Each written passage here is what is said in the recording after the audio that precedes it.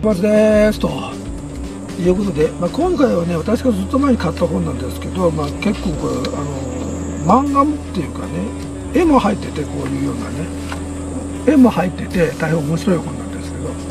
これまあナポレオンヒルというね、うん、ナポレオンヒルのですね虚無、ね、大きな財産富を作る築く13の条件というのが書いてありますねこれ、1500円。木古書房という有名なとこですね。田中光健さんが訳してるということで、うん、こういう漫画も載ってるんで分かりやすいです。漫画だけじゃなくて字の文も結構しっかりとして書いてあります。随分分厚い本ですこれ。1500円の安い本です。まあ大体どうやって富を作っていくかということが書いてあるんですけど、まあ、その漫画も入ってね、うん、まあなんていうのかなこれ。やれる人とやれない人があるという本ですこの本は。この本を読んでも成功者になれる人はまあ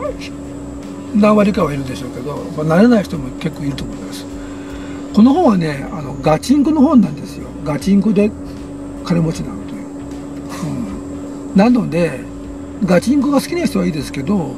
今はねこれ以上にトランサーフィンと自分の人生を好転させていくためには。ありますし必ずしも財産を作る富を作ることがですねいい人生イコールいい人生と限らないこともあるのでまああの財産がない人生はダメな人生というかねそれはもうまあ一部の仙人みたいな人を除いてはまあそうなりがちなんですけどでもまあ富が例えば10倍あるかといってね結構あの新聞とかテレビとかにぎわしてるねあの成金みたいな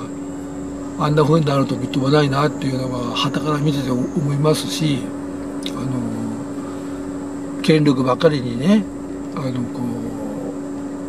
うなんていうかな上り詰めてもね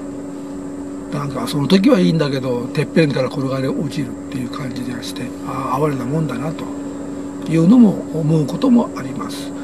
本当の富本当の幸せ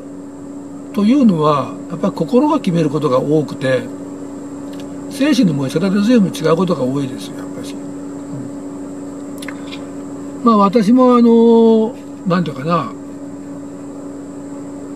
まああまり好きな仕事ではなかったですけど人からいい仕事だねって言われたこともあるしそれからあのでもそのやっぱりややってる本人は合わない仕事だといいと思えないんですよね。うん、まあ、他の仕事の方がいいと思ってますよ。私だからよく郵便配達の人がスクーター乗ってくるとああやっぱこれこの試験通ってたらよかったなと私試験受けたことあるんですよ。若い頃に1回受けてそれで滑っちゃってもう1回あの30歳ぐらいの頃かなもうこんな仕事やろうと思って郵便局行って採用してほしいって言ったら「ああいいですよ」ってことで採用っていうか試験受けるとこまでは行ったんですけど結局まあやめてやっぱり、うん。まあ、当時でねこれができたってこともあって、まあ、ちょっとじゃあちょっとねあのもうちょっとしっかり仕事で仕事辞めてる時じゃないっていうことでね、うん、まああの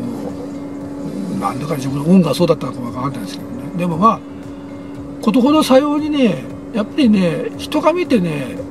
幸福は決めれないですよね。本人がどう思ってるかがすごく大きいですよ、うん、で本人があの例えばあのはたから見てあのこうあまりねお金あの人ないよみたいな人での本人がもうなんか自分なりに誇り持ってねある程度これ俺はいい人生を送ったと思っていればね心の底からですよ。それでいいんですよそれで。私やっぱ幸せやったわと奥さんが言ってくれたりして、それは大きいと思うんですよね、やっぱそういうのがね結構ね。だから必ずしもねあの虚譜を得たからといって、まあ、皆さんがこの本買ったりするんですけど虚譜を得ようと思って。あの虚譜を得てどうするんだということをしっかりと何て言うのかな。あの考えておかないと自分を練っておかないともう失敗することになると思います。最後は家族も離れ離れになってしまったと。貯金通帳にだけは人が羨むような金額がある大邸宅に住んでいると。か、ね、奥さんがベンツに乗ってるとか。そんなことではねなかなか幸せ感じられない。そんな単純な人間だったらいいんですけどなかなかちょっと難しいかなと思います。はい。あのまあ、私はそういうタイプの人間なんでその難しいなと思うんですけど、まあ、単純な人はまあこれで俺は人生勝ったんだはあはあみたいな、そういう人もいるかと思いますけど、まあ、そういう人は私から見れば羨ましい部分があるんですけど。うん。はいこんな感じですね。ではまた次回ねお会いしましょう。